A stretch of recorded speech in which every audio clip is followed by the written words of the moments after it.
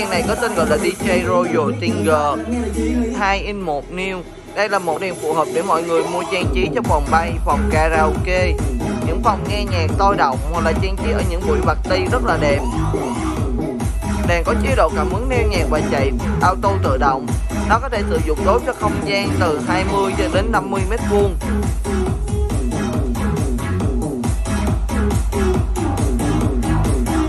Đèn kết hợp giữa đèn laser và đèn led quét tia bảy màu. À, mẫu đèn này nó rất là gọn nhẹ để mọi người có thể dễ dàng treo lắp và nó rất là tiết kiệm điện.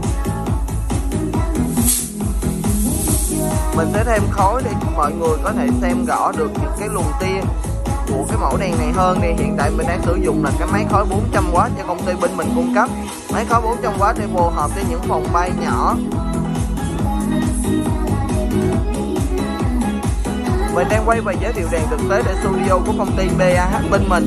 Dòng loa mình đang mở nhạc là dòng loa Bo L1 Pro 16 Cảm ơn mọi người đã xem video ngày hôm nay. Hẹn gặp mọi người ở những video lần sau.